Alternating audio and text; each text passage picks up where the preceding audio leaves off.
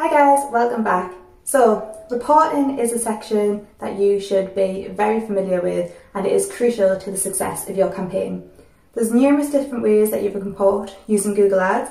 Google Ads actually has its own built-in reporting framework that you can use to set up various different reports. Um, you can use Microsoft Excel for reporting, but today I'm going to show you through how to set up a Google Ads reporting dashboard using Google Data Studio. So let's dive in. Hi guys, welcome back to the course. So today we are going to be talking through Google Ads um, Data Studio. It's a really useful platform to use to look at your overall performance of your Google Ads activity and um, make it a bit more visual either for yourself or if you are presenting back to clients.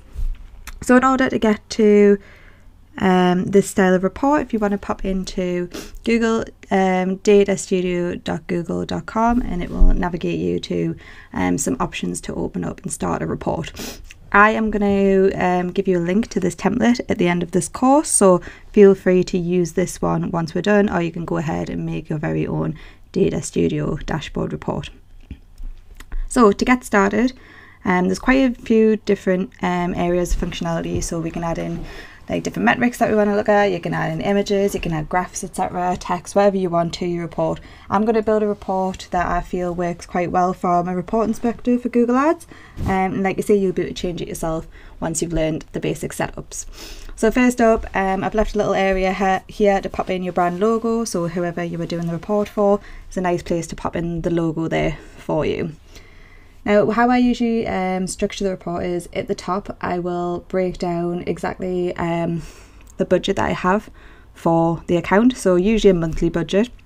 So, this will just be a kind of a text based um, piece to the to the report. So, you just drop in some text here, add it in. Um, so, I'm going to put monthly budget equals, um, let's just say a thousand pound. There we go. So, I've got that nice and tidy we know what our budget is for the month and then we can kind of refer back to it um, and see where we're where we're kind of trending against what we're spending at the moment. So in order to add in some metrics for the dashboard, you'll have to add a data source. Um, I've already linked one up for this um, demonstration, but in order to add a data source, basically you want to be adding your own Google Ads um, link. So to do that, you pop into resource, and then manage added data sources. So here, this is the source that we're working with at the moment. This is the one that I've added. When you do, or if you use this template, you'll be able to pop in here and just remove this source and add your own instead. So if you click on add data source, you have all these different options of sources that you can add. For this case specifically, we're looking at Google Ads.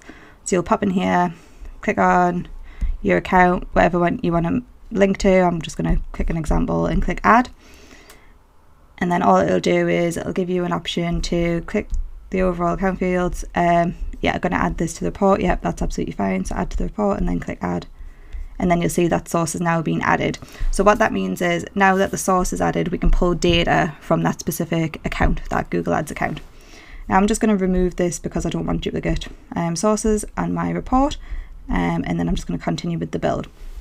So the first thing that I want to add is going to be um, a date range segment in order to do that, you've got some control options here. So you add a control and you can add this date range control. I'm just going to pop this up here in the top corner. So this is where what will happen is whatever your date is here, that's the data that will be shown within the report. So I'm just going to kind of put in a default date range for um, the last 30 days as an example. There we go, so we can change that. It's got a lot of predefined options, so you can select from last year, last quarter, last month, etc or you can actually fix it um, to whatever date that you want it to be. So, for example, if we wanted to do a monthly and we wanted to look at April specifically, we could do the 1st to the 30th of April. And then what's going to happen with that is it'll just constantly update the data every day as we move through the month. I often do this so that um, you know it's the report's always up to date every time I log in. So we'll use this example as we as we run through this report. Okay, so next up, I want to know obviously I've got my monthly budget, I want to know how much I've spent. So in order to do this, I'm going to add a chart element. and there's lots of different things you can add um, like graphs etc but i think one of the easiest way to display visually kind of what you're looking at from a cost perspective and some of the other metrics is to use what's called a scorecard so we'll pop that in and scorecards basically show um, like a sum of a specific metric that you've collected it's defaulted to clicks but what we're going to do is we're just dropping the data source over here and we can adjust this to our cost so we just find it in the list change the cost and I can say I've spent £784 so far this month. Um, you can play around with the style however you want it to look. I usually centre it so everything's in the middle. Um, you can change your colours etc if you want but I'm not going to go into too much detail with that. Um, you can play around with this yourself kind of in your own time. But there we go, we've got the basic um, referral for you know cost versus um, our monthly budget. So I'm going to tidy that up and just make sure it's kind of aligned. There we go. So if, for example, my budget was a thousand pound for April and we're only 11 days into the month, um, I would say that we're definitely trending a bit beyond where we want to be um, based on the on the budget and the cost. So luckily for us, it's it's not actually the exact that isn't actually the actual monthly budget, but I'm just giving you an example here anyway. So then you can kind of um, keep an eye on you know what you've got left for the month. So you can also add in kind of custom columns as well. Um, so for real quickness, you can copy and paste this and then you could change this um, to your own specific um, field. So you can create a field and you might want to call this um, remaining budget. So this can just be um, cost. So find um, and then minus.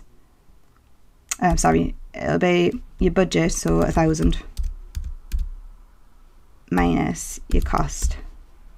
There we go. And then you can apply that and it should pop up with however much is left. There we go.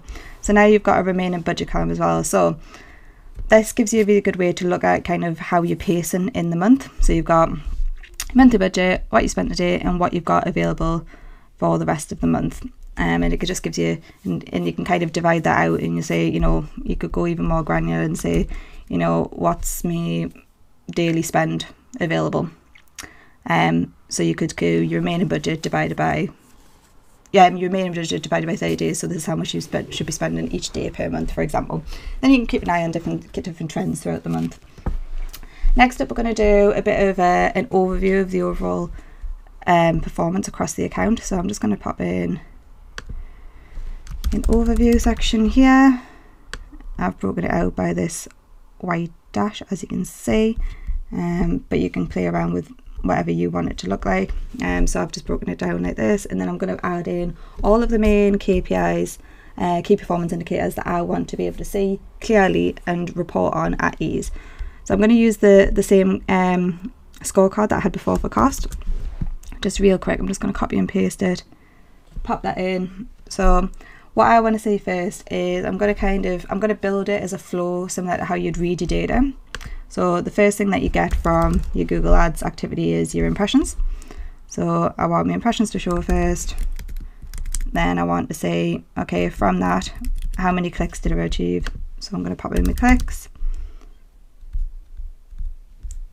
And then I want to look at the performance KPI for these in terms of click-through rate. So I'm going to pop that in, CTR. And you can add in, you know, any any performance metric that you want to look at specifically. Um, I'm going to put the top line stats in for this example, um, but you can play around with it as much as you want and change it as much as you like. Next up, I'm going to pop in um, the main thing that I want to look at for this account, which is going to be my conversions. And then to align with conversions, you're going to want things like your cost per conversion and your conversion rate to understand kind of how your account's performing overall. And remember at the moment, this data is top level account data. So you basically look at it what um, what you've achieved in terms of the overall um, that's the one conversion rate sorry. It'll be this one. What your accounts achieved overall. So it's not segmented in any way by campaign keyword or device or anything like that. This is literally a top level view but we can put segmentations on and I will show you that shortly. Yep so cost per conversion I'm going to pop in as well. which will be um, you can have cost per conversion. I always refer to cost per conversion, and then finally I want um, I'll put my cost in again, even though I know we've got it at the top, but just for another reference and like a top line view, we'll pop that in. And then finally I want my CPC as well, cost per click. See it just falls slightly out of line here, so it needs tidying up a little bit from a, a visual perspective, but you get the general idea. So I can just move this along slightly. There we go.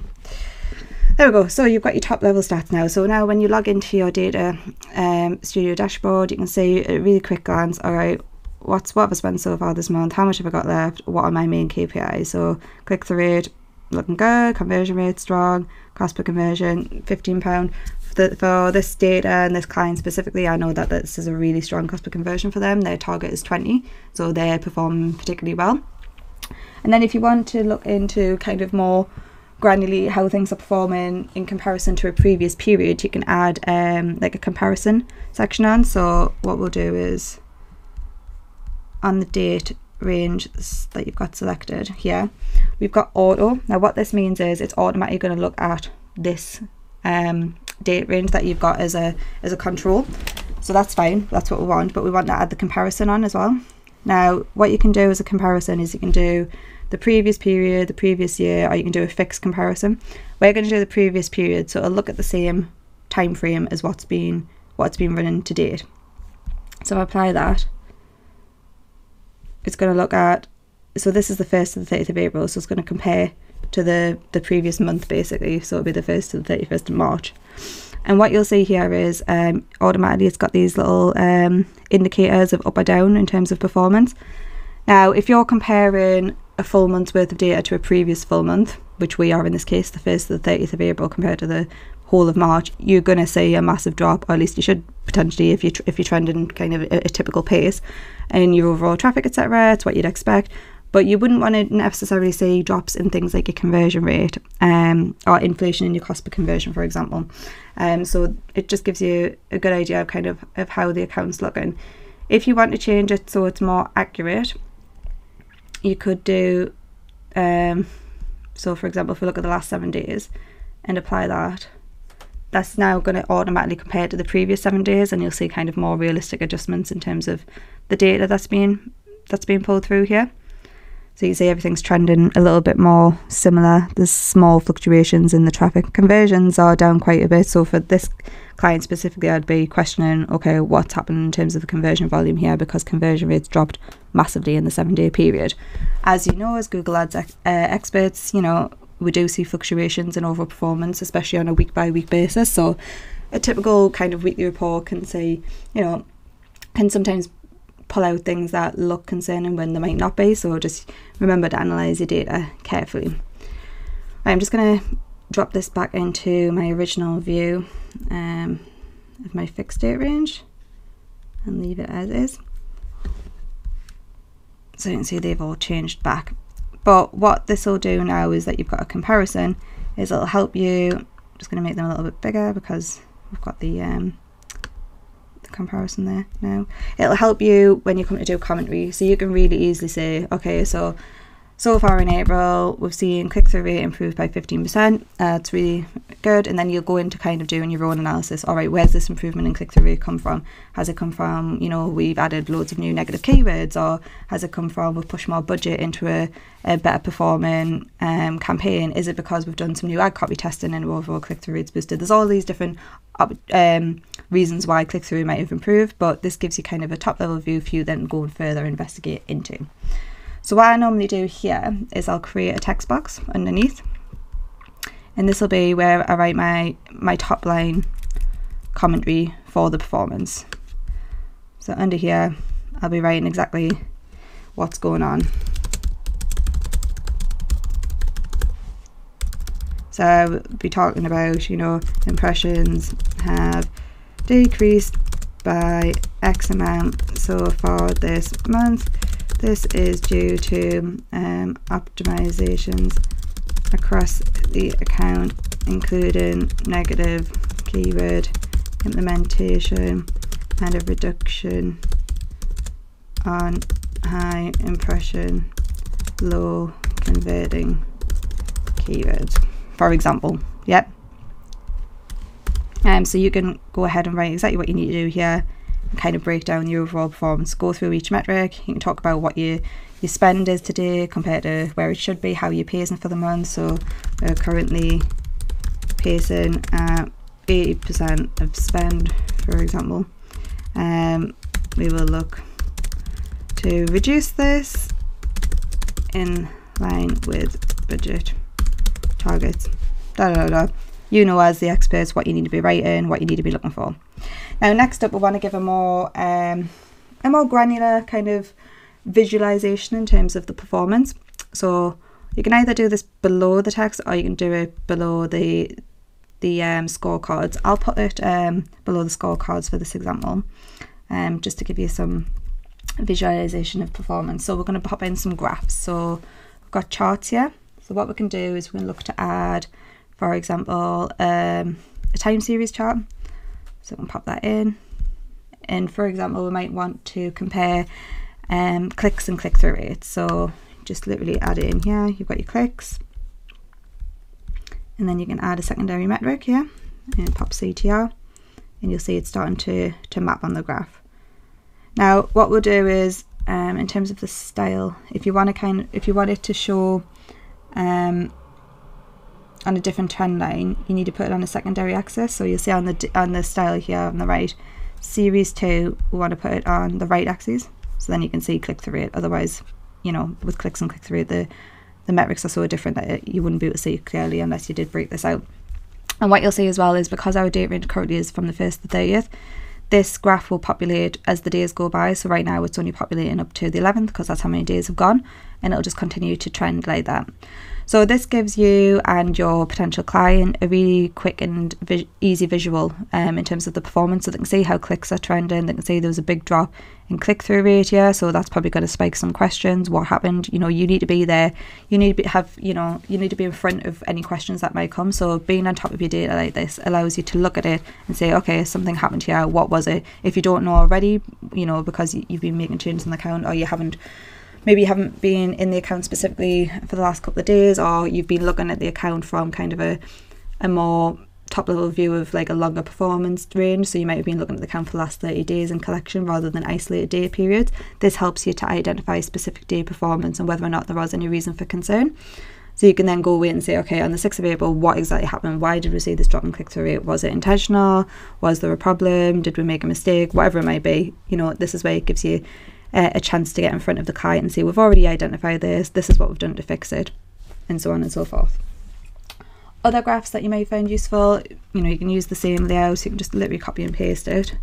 Um, you might want to have your conversion performance. So I usually do graphs in line with um, what I've got at the top. So we've got click traffic, you want your conversion in comparison to your conversion rate. So you just change the data over here to conversions and then your comparison is going to be a conversion rate. Like so. And here you can see how that's looking. So for us um, on this data specifically um, we can see that conversion since the start of the month have been trending down. So again that that that spikes questions you know what's happening on the account? Why is the data trend, trending down? So this is the all stuff that gives us a really quick visual and time to look into into it and report back. And then finally, you want to kind of add a graph for your cost performance. So I typically do cost versus your average CPC. Um, so I'll pop that in. And remember, you know, you can change this to whatever you feel is more important um, for your account specifically. Just gonna tidy that up. There we go. Beautiful. So now we've got top line stats of the overall account and then visuals in terms of time series graphs there as well. And this will help again with your commentary and reporting, you know, what you want to talk about um, overall. Now you'll see that um, when you're building this report, the default length of the report kind of crops out here. All you need to do to change that is just make sure you click on, click off any, make sure you're not clicked on any boxes. You're just on the, the background. If you go to layout, there's an option here for width and height. You can change the width as well if you prefer. You prefer a, long, a wider report. I typically leave it at 1,200. But if you change this to, you know, put in 4,000, you'll see now that as you scroll, the report just gets longer. So you can just build this report as long as you need it to be, depending on how much information that you want to include in the report. So once you've done um, this part, you know, I would leave enough space to build out a fair bit of commentary in terms of what's going on in terms of overall performance. I usually talk about like the main things that are going on on the account, etc.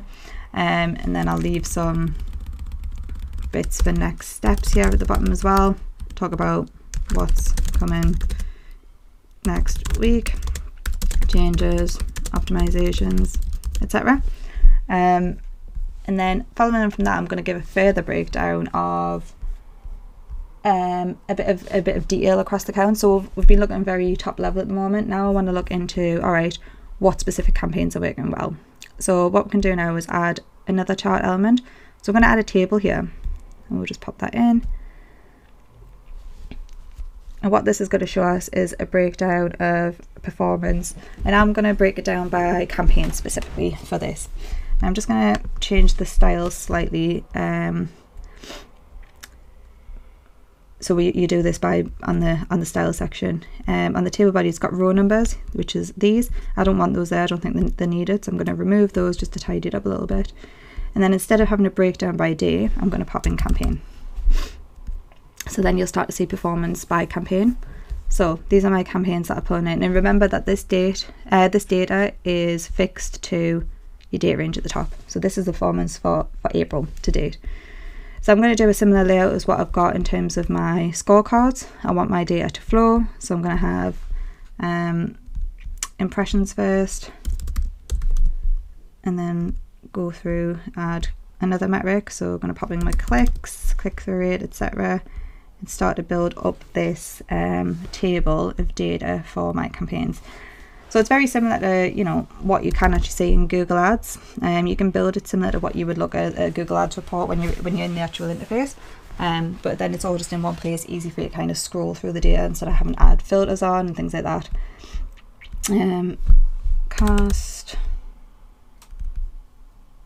CPC. Remember, you can add pretty much anything that you want to see here within reasons. There is some limitation in terms of what you can add, um, depending on Google's kind of the way it filters data, etc. You might come across if you put something in and, it's not um, eligible to run, you'll come up with kind of a, a value and it won't show. Um, so you'll just have to play around with anything that you add in to make sure that it, it works with with Data Studio. Cost per conversion. There we go. So now we're starting to see the performance. Um, I'm going to style it up so makes it a little bit easier. Pop everything central except for column 1. I'll keep that to the left because that's the campaign name. But all the metrics I'm going to make central. And you change, you can play around with the sizes of the text, the colours, uh, the fonts, etc. Whatever you want uh, to make it look how you want it to look. And drag that out. And what I can do is we can make it so the campaign is bigger so you can actually see it all. So this is the performance by campaign now. So say really clearly how things are performing overall. And you can sort this data as well by whatever it is that you want it want it to be sorted by. So there's an option here to add a sort. Um, descending, ascending. Um, so let's sort it by, I don't know, we'll put clicks in for an example. And then what it'll do is it'll show your campaigns in order of clicks. Um, oh, sorry, that's a secondary sort. The first one's by impressions. So if we change this to clicks, and then get rid of that secondary sort, there we go. You'll see that the clicks are now sorted by um, in order of descendants. So pet exact, for example, has got the highest number of clicks in this date period. You can sort by conversion, sort by cost, whatever it is that you want to do. And then actually when you pop into view mode, so this is how you'd look when you're potentially working with a client. You can click on different columns anyway to sort it while it's in view mode. So you can see I'm sorting by conversions, sorting by conversion rates, I'm sorting by impressions. But just remember that whenever you um when you log into the dashboard, it's automatically going to be defaulted to sort by clicks because that's what we've put in the data. Okay, so you've got your campaign performance. Um, you might want to add a title here to say what it is. So I would usually just copy this overview section and drag it down with me. And then I'm going to put here uh, campaign performance. And then I usually also write about how it's how it's sorted. So um, campaign performance by clicks. Yep, so it's really clear exactly what this is showing us. And then there's loads of different things that you can break out um, table wise. So you could have, you can top performing keywords, for example. So you might want to copy this whole thing, copy and paste it. I use copy and paste quite a lot, as you can probably, as you can tell. Um, I find it really useful if it's, it's just going to be the same sort of layout that you want. Um, change this to keyword performance. And then in order to change this, instead of having campaign on your table, you're just going to change it on your data to keywords. So in this section here, pop in keyword, so it'll be search keyword. And as well, just to make you aware that um, you can change how many rows there are in your data. Um, so you've got rows per page 100. Um, so if you were to drag this down, it'll show the first 100 but because there's 336 within the this campaign for uh, this account for example there's 336 keywords you'd still have the option to scroll across. So I'll show you what I mean by that. So when you go into view mode when you're now live on the data it'll scroll for the first 100 see the scrolling. And then to move through you'll have to click the arrow. And then I'll move to the next however many keywords. You can increase decrease the size of it. You can change your um, number of rows that you want from. If you only want it to show the first 10 you can change it to 10 if you're happy with 100 you can keep it 100 um, there's lots of different options. You can have it as small as just one row or you can have it all the way up to 5000 however you prefer to show your data. So now you're starting to kind of build a nice report in terms of a breakdown. So you've got top level you've got campaign view you've got keyword view. Um, you can pop things in um, more visually for like a device breakdown for example. So I think a nice way to display um, device breakdowns is instead of in a table view, it's nice to have a like a pie chart. So in order to do that, you just add a chart type again. You see you can either have it like this or like this. I tend to go for these style of ones. Um, so here I'm put device breakdown like so. And then you can change the data to whatever you want it to be. So instead of the keyword, we're going to change it to device. So now we start seeing the device and we can either break it, break it down however you want. This is defaulted to impressions, so you can see how many impressions are being driven by which device. So for example, 82.6% of overall impressions are coming from a mobile device. You might want to change it to your main KPI, so you might want to change it to conversions, for example, to see exactly where your conversions are coming from. You might want to show multiple different um, metrics, so you could copy and paste this data you can have a breakdown of your conversion by device, have, and then alongside that you can have a breakdown of your clicks by device, for example, and then you could start understanding quite quickly, you know, do you see a higher percentage of clicks coming from mobile, but you see more conversions come from desktop, for example, and, and, and vice versa, or is it kind of as you'd expect? So in this case, 87% of traffic comes from mobile and 89% of conversions come from mobile. It's pretty, it's what you'd expect. You know, you see the same, the higher volume coming from where the traffic's coming from. But sometimes you might see that you'll have high volume of traffic coming from a specific device, but a low number of conversions. So you've got a better conversion rate on a different device to what you see on the traffic coming through. So that might mean that you need to do some optimization about your mobile landing page, for example, or your website. Um, so it's a good way to just to visualize this as well. Um, and then you might want to break things down like um, understanding the ad type performance. So again, I would use something like a table view to create my uh, visualization of performance by ad type. Um, so just drag that down. So the, the world's your oyster when it comes to, to Data Studio really because you know you can play around with, with as much as you want. You can add, change your data, change what you're looking at, um, what do I want? Ad type, for example. So this will show is it expanded text ads, is it responsive search ads, um, is it call only ads, for example. This will give us a breakdown of what's working and what's not. So in this case, we're running expanded, RSA, and dynamic. So we can see the performance of each individual ad type. We can see that click-through rate's much better across ETAs. Conversion rate is actually slightly better on responsive search ads, stronger on dynamic search ads, but obviously you've got to bear in mind the volume coming through as well. I think we've got a good conversion rate across all. Cost efficiency much better around what ETAs, so £13 versus 24 So this is where you can start understanding, you know, what's working better across the account. Can we push more into um, ETAs? Should we be moving more into RSAs? Whatever it might be. Um, gives you a, a quick breakdown here of how you want to look at that. So what I'm going to do now is I will share a link in this um, course for you to the templated version of the Data Studio report. So you can go in and you can play around and make your own make your own copy and play around with it. Any questions, let us know. Be happy to help. Um, just remember that when you do open the link to this template, um, it will be, you know, you won't be able to edit it. It'll be a view only link. So what you'll need to do is you'll access it and it'll look something like this. Um, so when you when you get there, you just click on File, uh, Make a Copy, and then what you'll need to do is change your data source to whatever it is that you want to create. So create a new data source, what we did at the beginning, click Google Ads, etc. And then make a copy and save it as whatever you want to call it. And then you can edit it. You won't be able to edit this version, just to be clear.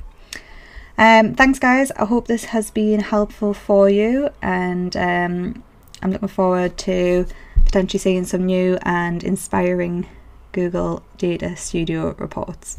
Keep learning.